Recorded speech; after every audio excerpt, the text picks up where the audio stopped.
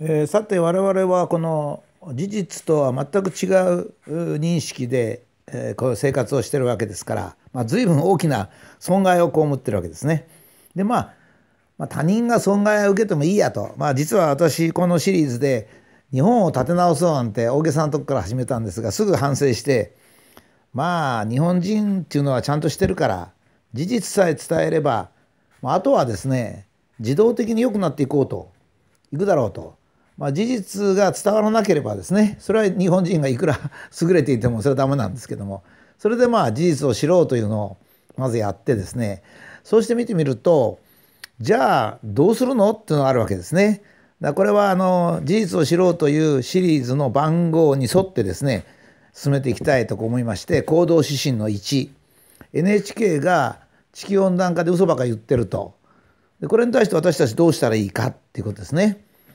えー、だいぶ洗脳されましたのでなんとなく暖かくなると温暖化したとか思ったりですね。寒くなると温暖化してるっていうのに変だなと思ったりですね。それから電気をこまめに消さなきゃいけないんじゃないかとか、えー、まああの CO2 はあんまり出さない方がいいんじゃないかとか。それでその、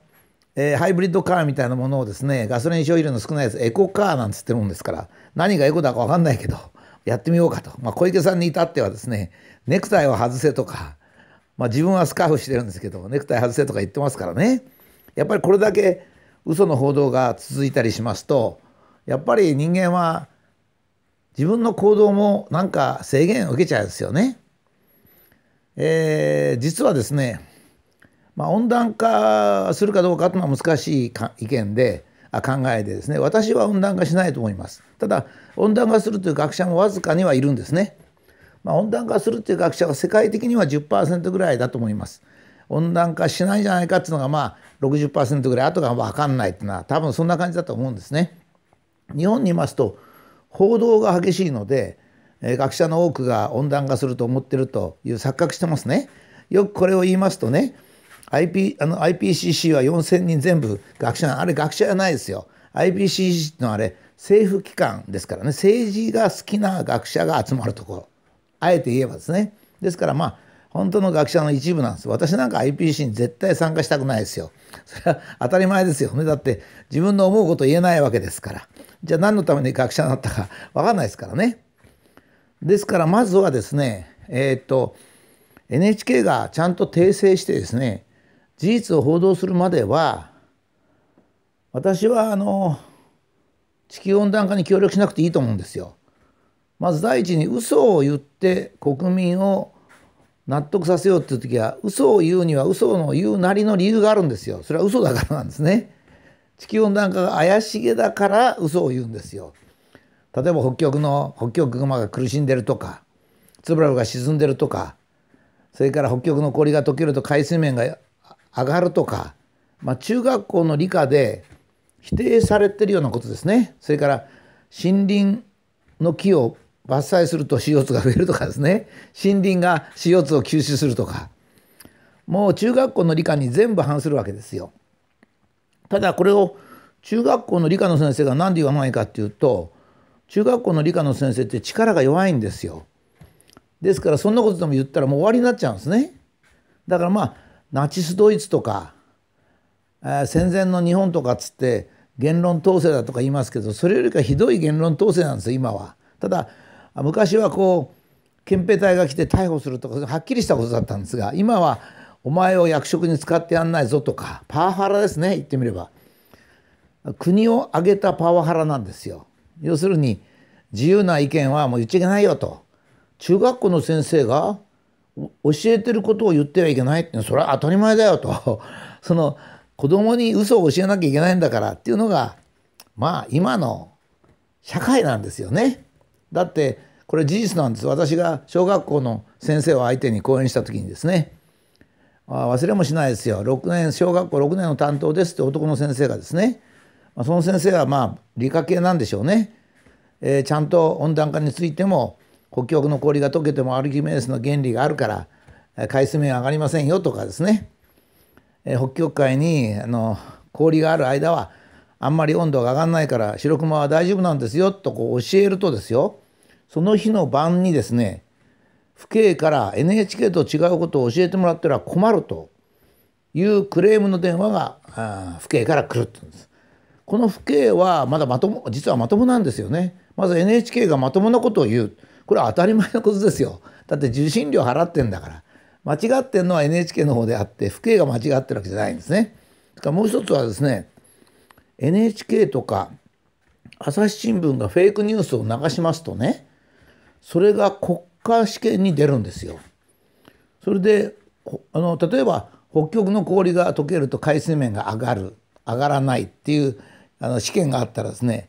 えーと、どんなに事実と違ってても理科習った理科と違っててもですね NHK と同じように回答しないと罰になるんですよ。だから父兄としてはねまあ科学なんかどうでもいいじゃないかと。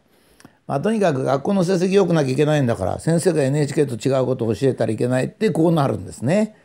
これ日本なんでしょうかね 本当よくあの中国は言論統制だとか言ってますけどすごい言論統制ですよね日本は。それでじゃあ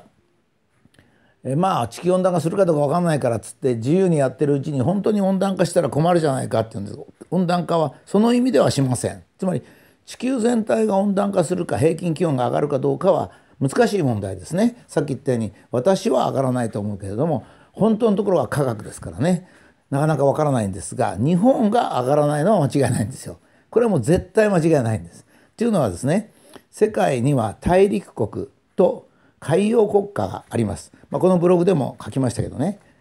要するに地球の平均気温が二酸化炭素って空気が温まりますから地球全体が温まるんですけど